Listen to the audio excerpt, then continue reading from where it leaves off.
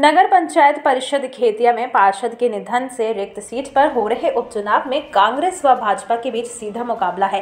Ward क्रमांक 11 के आठ सौ उनसठ मतदाता में से वार्ड के पार्षद का फैसला करने के लिए आज मतदान में कुल 633 मतदाताओं ने अपने मताधिकार का उपयोग किया। भारतीय जनता पार्टी की ओर से गन्नी रज्जाक खटीक तथा कांग्रेस की ओर से हमीदाबी बागवान उम्मीदवार है। ब्लॉक कांग्रेस अध्यक्ष संतोष पटेल का कहना है, सरकार के खिलाफ आमजन में आक्रोश आक्रोश है। कांग्रेस को लेकर अत्यधिक उत्साह है। वहीं भाजपा मंडल अध्यक्ष कमलेश राजपूत का मानना है कि ये हमारी परंपरागत सीट है, अतः हमारी जीत सुनिश्चित है।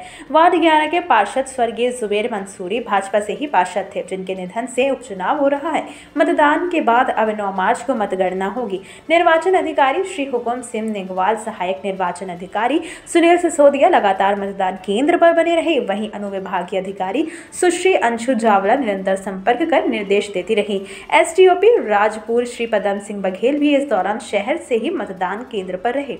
थाना प्रभारी संतोष सावले व संपूर्ण पुलिस की टीम मतदान केंद्र व इसके इर्द गिर्द ही बनी रही। देखिए, राज्य निर्वाचन आयोग के निर्देशानुसार एवं जिला निर्वाचन बड़वानी के निर्देशों के पालन में हमने आज यहाँ पर खेतिया नगर परिषद में वार्ड क्रमांक 11 का चुनाव संपन्न कराया जाना था, जिसमें आज निर्विघ्न संपन्न भी हो चुका है।